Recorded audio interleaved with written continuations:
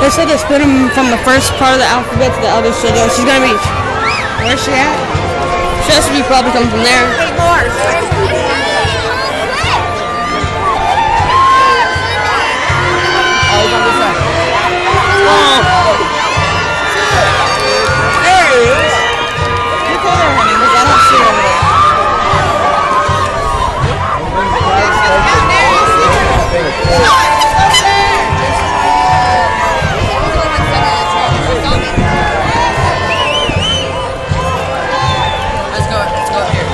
on the back.